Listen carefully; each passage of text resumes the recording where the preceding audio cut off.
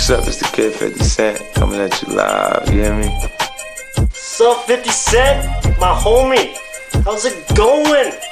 Now look, we heard rumors last year that you were performing and helping out with the cutscenes in last year's Chin and Chow. What was that like? Um, I wrote material for scenes in the film. We heard you brought your homies along, you brought your crew. Myself, Lloyd Banks, Young Buck, Olivia. So this is a pretty crunk event where there's a lot of sh- stuff going down.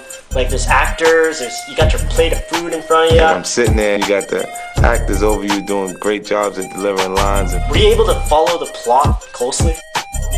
well, I'm I'm pretty programmed for doing more than one thing at a time, you know, multitask. Were you chilling like a villain? Did you, for sure, throw it down, Holmes? You know what is really difficult for me to do? For me not to sound good rapping. You know, but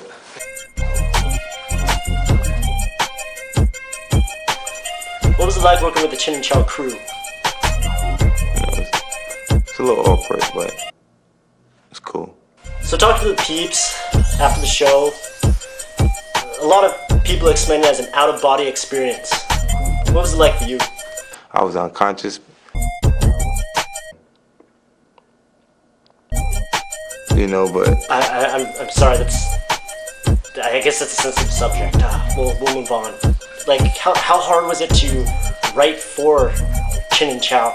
Like, where where'd you inspire? Did you did you take take it from the hood? loosely based on my life story, so they uh, modified my lifestyle to make it entertaining cinematically a little more, you know. So? Now, being a Nate Wigger, I, I I have problems, but like I, I figure be more black. I need a gat.